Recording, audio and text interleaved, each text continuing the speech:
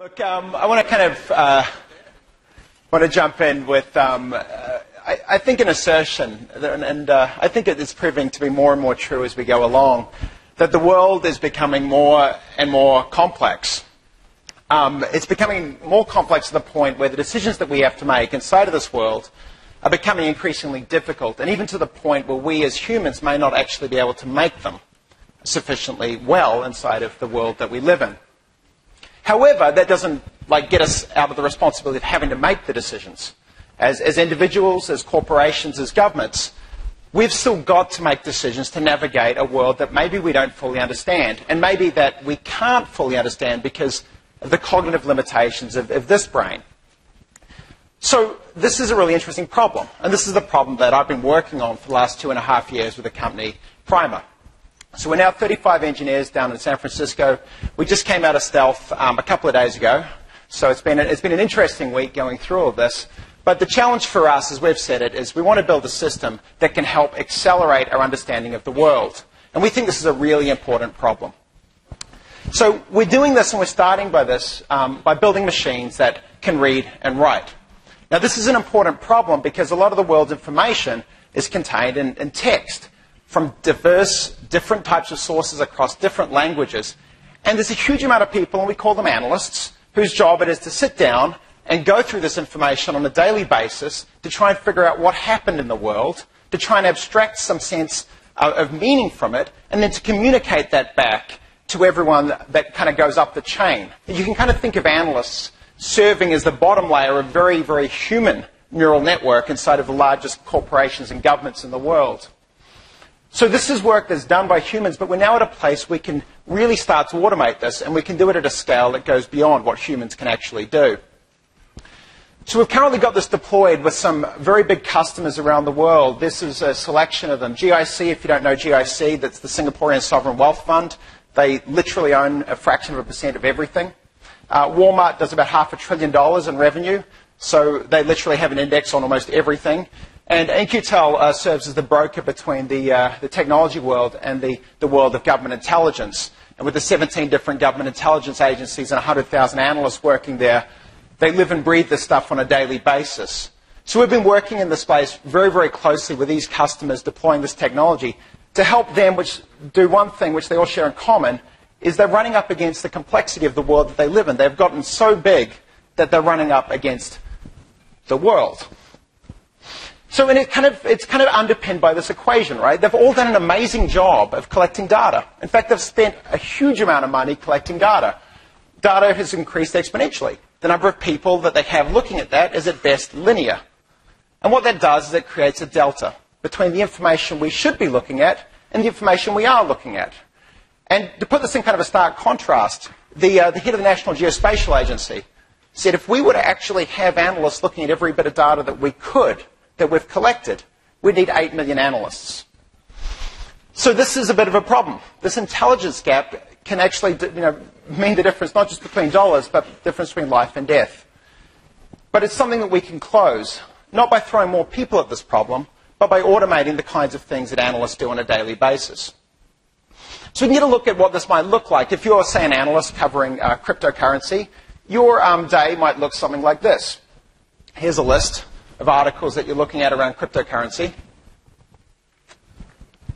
You could substitute this for information coming out of Crimea or northern Iraq if you're in the intelligence space. Figure out what happened, what, if anything, is significant that's going on here.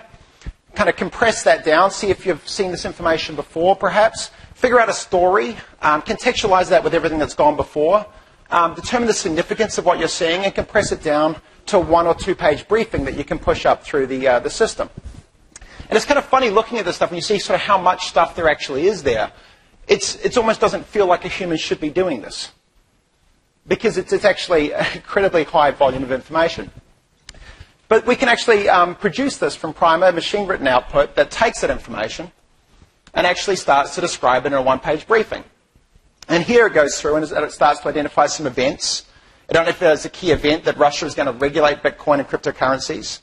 Um, it's also pulled out a kind of bit of color around that, that when the statement from uh, Sergey, um, one of the ministers there, made the statement that there was a flash crash that happened inside of that. Um, it then goes on to talk about some of the, the bubble and identifies a couple of events inside of that. A, a man, of course, is selling everything he has to buy Bitcoin. Um, it goes down and talks about a, a, topic around JP Morgan Chase and Ray Dalio. It probably should have said that that was Wall Street Insiders, but it, did it did all right. It talked there around that, and I, I like the quote that it pulled out at the end uh, around Jamie Dimon being a significant person and uh, talking uh, about Bitcoin being a fraud, saying if you were in Venezuela or Ecuador or North Korea or a bunch of parts like that, or if you were a, a, drug dealer, a murderer, stuff like that, you'd be better off doing it in Bitcoin than US dollars, which I think is sort of the ultimate shade thrown by Wall Street insiders to a cryptocurrency. So look, you've, you've, got an overview here. You can kind of customize this um, depending on how much you know, depending on how deep you want to go. If you want a regional focus on China, it can write that for you as well. You can dive into this and look here and say, look, here's a deep dive into this Russian regulation looking at the summary. It's pulled out a map and generated that for you and said Moscow and Sochi are both important. And it's highlighted the fact that Moscow and Sochi are the two places at conferences where key people from the Russian uh, government have made statements about the, uh, the regulation of Bitcoin. So you're starting to get to a place where this is not just done for cryptocurrencies, but it can be done for anything. And it can be done all the time. You're getting a self-updating, self-continually generated map of the world communicated in human language. This is powerful stuff. It's driven, um, and it's a difficult technical problem that's driven by um, a bunch of core analytic engines. And I want to run you through a few of those as we go. So the structure engine allows us to take the documents and actually look for structure at the kind of the base level. So you can take a, a statement like this, determine the number, determine the units, and determine also if it's been modified. You can put them together into the events engine to identify real world events and all the evidence pertaining to those as they unfold in the world. In this case, um, an event around Apple building a, uh, a self driving uh, electric car. So, with that, um, it can go into the ensemble engine, and it, what it actually does is it takes all of the evidence pertaining to that and starts to say, well, you know, we can go through all of this, and these all seem to be saying the same thing. There's about 600 people working on this is the, um, is, the, is the mean approximation or the best kind of representation of what it thinks there is, in this case, 600 people working. It can also find consensus. So, you know, it's going to say, look, 2019 is the date that they say they're going to launch this. But equally well, and if you're an analyst, it can find contradiction. It's saying there's no way they're going to hit this. Um, and actually kind of putting both of those side by side, is very, very important, you know, for analysts as they think about bias. It can also chase the long tail. If there's a hundred different documents, or a couple of hundred, knowing that in document 161 in paragraph 3 that there's a key bit of information about the battery technology that they have, this may make you as an analyst think a little bit differently about the likelihood of this unfolding. You also want to put this in context. So you need to understand what's sort of come before to understand what's happening today. So we can take an, an event here. In this case, Tesla's Model S is getting a software version update which enhances semi-autonomous driving capabilities. Uh, a week later, you get um, it tending to drift off highways. Um, then Tesla says we want to stop people uh, being killing themselves. That's probably a good thing. Um, but then a couple of months later, uh, GM delays its Super Cruise technology. Now, if you just read GM delaying a Super Cruise technology and don't know that the things have unfolded beforehand, you're going to treat that maybe a little bit differently. Context is really important, and it's something that we as human analysts do pretty well. But you want to be able to automate that and bring that back into the system. Difference engine is, um, I think, a really interesting one. It starts to kind of highlight differences um, between different uh, representations of the world. In this case, we can take um, a set of Russian documents about self-driving cars, and we can look at that and identify a set of events. Um, you can run a translation layer on that, and you can see all the events that it's found, which is interesting. This is Russia telling the story of self-driving cars. And you can do a diff on that and determine the ones that are only in Russian and don't have a corollary in English. Now, this is interesting, you know, particularly the one there talking about China's um, engagement and that the relationship between Russia and China that they have in Russian language and not in English is, um, is very fascinating. So with all of that, you um, then want to put that up into a story engine. And the story engine ultimately collects all of this together and starts to tell you a story. So you can generate an intelligence briefing, in this case looking at Russian documents pertaining to Syria, and you can kind of zoom in and see there's some pretty subtle, pretty interesting things inside of that. So the, the topic here, FSB and court cases, it was not present in Western media and included the events that the migrants were maintained, uh, de- detained for conspiring to aid ISIS. This is some of Russia's issues that it has down in the Caucasus. We don't see this because it's in Russian only, but you can generate this report on, all the time, and it becomes the first draft for the intelligence analyst to start looking at. You can also generate this one. This is a, uh, a profile of Janet Kelso. She's a scientist. Um, she doesn't have a Wikipedia page, but this might be a nice one. Probably should have one. Um, the uh, automated insights uh, for consumers. So this is uh, if you're wondering about what's driving uh, frozen dinner purchasing, as, um, as perhaps some people at Walmart might be. Um, you can see potentially it's driven by uh, millennials. They're responsible for everything, including frozen dinners. Um, but you can also do things a little more interactive. So you can automatically generate um, a map. In this case, it's looking at Russian and English documents pertaining to terrorism. There's 40 million documents that were considered it generated um, what you're going to look at front of now. And so it's looking for terrorism events around the world, looking at them in Russian and English. As you can see, you know, it's also generating the breakpoints in the story. So here you're seeing um, the first breakpoint it finds is, uh, is in Beslan. And for those that don't remember Beslan, it was 2004. It's sort of Russia's 9-11. And um, you can see on that day there in, on, on, the 3rd of September, there was also um, some focus down in the Philippines where there was, a, uh, there was a bombing that killed at least 14 people. You can see uh, the next day it jumps through as it picks up September 11th. You can see where the focuses are there. And then you go through a week after that and you see the first major attack that it picks up. Um, in this case, the, uh, the pipe bombs uh, in Chelsea. Um, interesting, that's where the, uh, the, the, focus was. You can see the red and the blue, the blue indicating English coverage and the red indicating Russian coverage. But you can also see Bishkek. I don't think anyone knows what happened in Bishkek, and if you don't read Russian, there's no way you would have known. It didn't make a translation into English. But there was a suicide bomb at the Chinese embassy, and while we were focusing attention there, of course that was important for Russia. So you start to see as this thing evolves, different views of the world as it unfolds.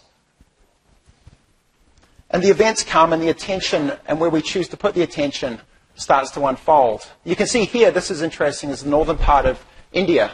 And you can see um, there was actually a conference there where the Prime Minister of Afghanistan was alleging that the, uh, the Pakistani were, uh, the Pakistani military was um, actually sheltering uh, terrorism uh, inside of its borders.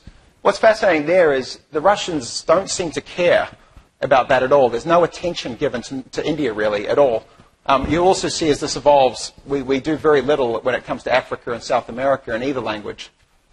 So these events start unfolding. You can see here um, Istanbul nightclub bombing, massive Russian coverage, 39 people died. You can see a similar attack, 36 people died in Baghdad, but much less coverage that unfolded there. So, of course, attention is not given evenly across these spaces.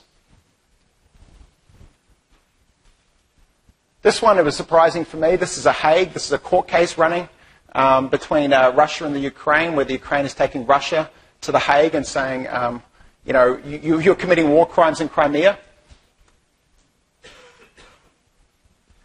You can keep jumping forward through this. It'll pick out um, this Manchester bombing, very significant um, attack. But also on the same day, you've got the US president down in Riyadh making a statement that the Muslim community is not doing enough to stop terrorism.